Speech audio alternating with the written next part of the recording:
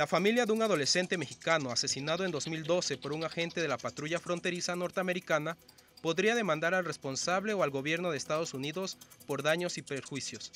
Esto luego de que una corte de San Francisco rechazara el argumento de inmunidad presentado por la parte acusada.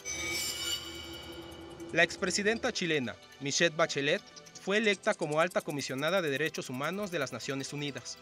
El nombramiento, hecho por el secretario general de dicha organización, Antonio Guterres, deberá ser aprobado por la Asamblea General. Parte de la comunidad indígena en Bolivia solicitará la culpabilidad de su Estado frente al Tribunal Internacional de Derechos de la Naturaleza.